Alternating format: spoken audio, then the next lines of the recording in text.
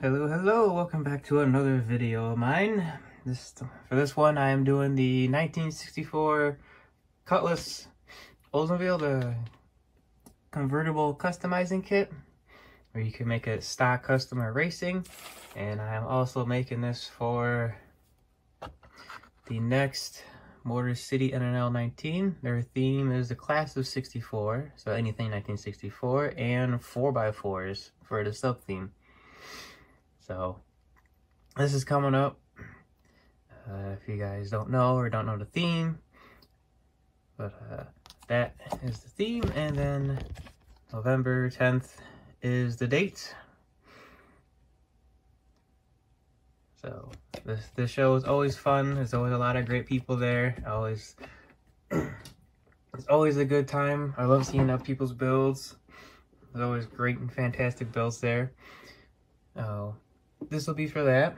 Uh, I have made the kit before, and if you follow me on Instagram or TikTok, you will see what I have done to it. So I'll bring, bring in the other one that I made. And I've made that one a bit funny. As for this one that I'm making, I am just going to do a stock build. I'm just going to leave it a regular stock convertible and just try and do it up as nice as I possibly can.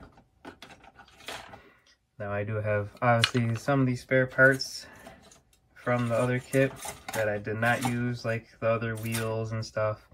The other seats, the stock seats that are painted up so I don't have to paint these ones up. So all these pieces that are in here. I have yet to paint. I just cleaned them up. I cleaned off the uh, the flash and other stuff from them. And now you can kind of see the detail on that dash. This kit is a very nice kit. It is worth building multiple times. Like, the level of detail is very... It's very simple, but it's very nice. So, I mean, I did enjoy building this the first time. It was very nice, very simple. So this, if you get this, I would have to say this is, yes, worth building multiple times. There's a couple kits that I would say that for. Some of them is kind of just a once and done. Um, only thing I'll be using for this is the uh, the brake pads and probably steering wheel. These are for the customizing bumpers. I will not be using those. I already just put the engine together. I'll just paint it as one and then detail it. Um, obviously this has a a rod that will go through this for the wheels. But uh, this is all glued together. Very small engine. But uh, like I said, this is it's very, very simple, very nice. I mean, the hardest part of this whole thing is just painting it, honestly. Now you can see the other um, parts for the uh, race, the race version of the engine. So I'll be using the little manifolds. I got the belt and fan over here, the air cleaner. Um, I have not put that on. I was debating on whether or not I want to wire this. It all depends if I can make it fit or not. I kind of, if I can make the time for it, I will do wires and make it look nice. But if not, then I get lazy, then I probably won't. And then here's the hood stock hood. I gotta clean up the front a little bit more, but and then the wheel backs. Yes, this kit's very very simple. There's the stock grill and bumper, and then the custom ones. Uh, other ones, I guess, were the race ones.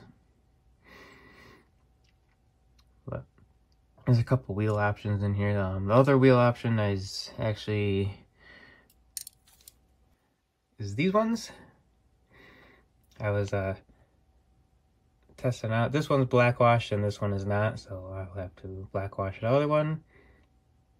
At the time I made the first one, I was kind of deciding on what I wanted to do, so I was testing stuff out. And then these are the wheels.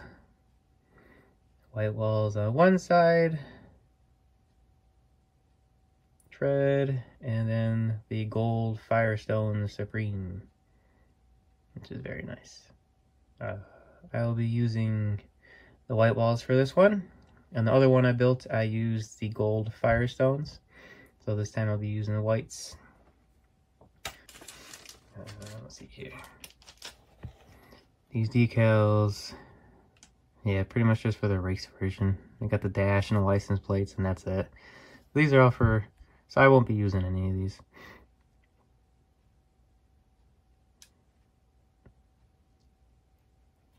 That's the decal sheet. And that's really it besides the wheels. Um oh here yeah, so this goes together with screws.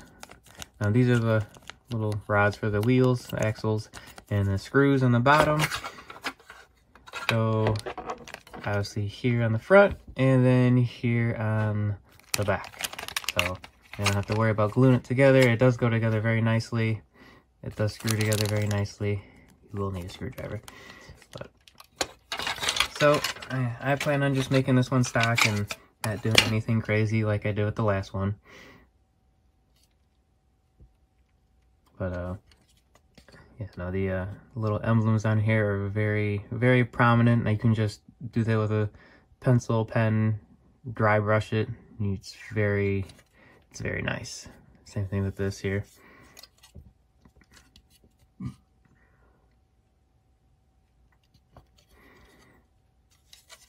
Let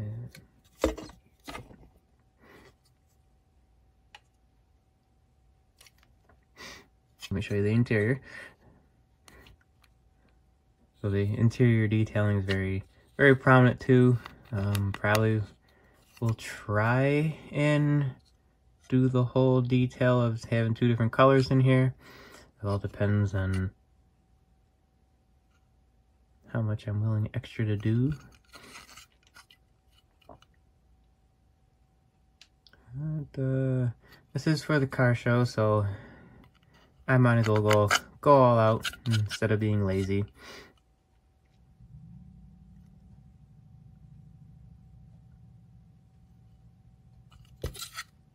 But, so there's everything in the kit. Um, these are just the windows. Uh, that's for the race version, that's stock.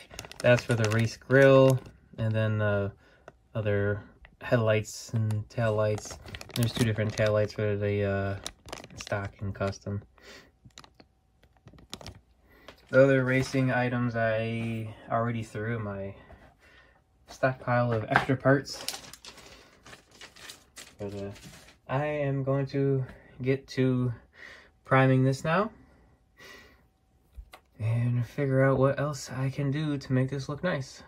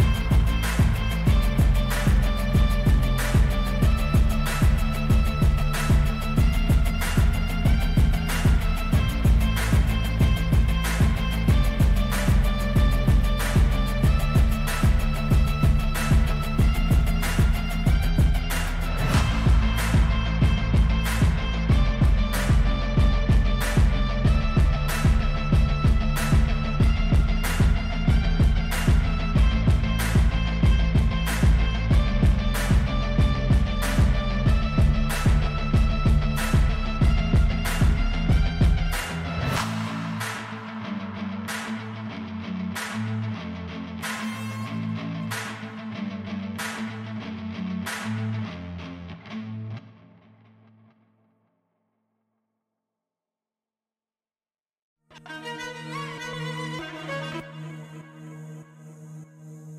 you.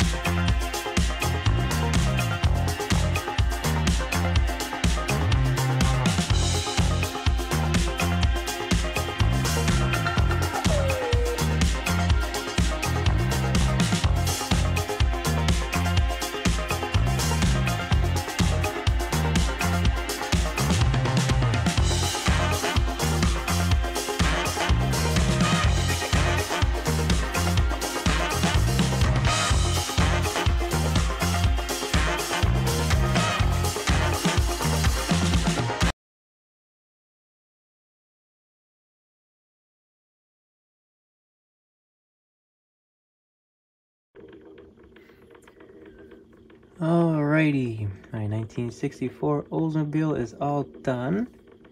Uh, I got it all set up and put together how I like and how I want. A few things I could probably fix here and there, but eh. Uh, this is the second time that I have built this model kit. The first time I built it as a race car, and uh, I liked it. I liked it a lot, so I got it a second time, and I figured now was a good opportunity to build a stock version. Um, I did build this up to bring for this show. Class 64 is coming up in November. It's uh, November 10th. So it'll, it'll be there for everybody to see. This just uh, screwed together on the bottom. So there's screws in the front and in the back. But that's what the bottom looks like currently. Here's a better view of the interior. You can see all the flocking in there and all the nice carpet.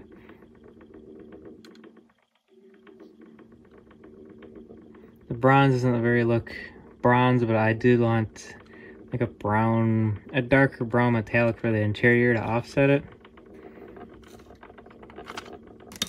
And then here is the engine with the battery and radiator and engine and master cylinder all wired up.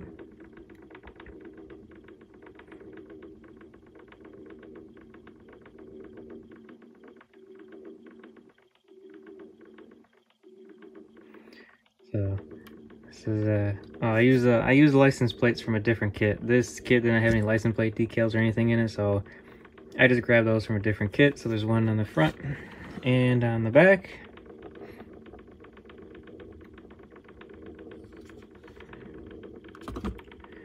That's uh, that's that's how that looks. And then for the one that I built previously, it looks like this. I did make a video on this, I do believe, I think I did.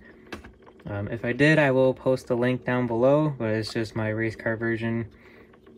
Uh, I just use decals from STS decals and on different kits, other kits. So, got the race bucket seats in there. But, uh, yeah, so if, if I can find the link, I will post this one down in the video. But as for now, just going back in here. Uh, if you did uh, watch the video this far, I do appreciate it. Thank you. Um, there always photos at the end. There's photos on Instagram and TikTok. They always go up there first. And I always appreciate the views, likes, comments. And I'll be on to the next. See you later.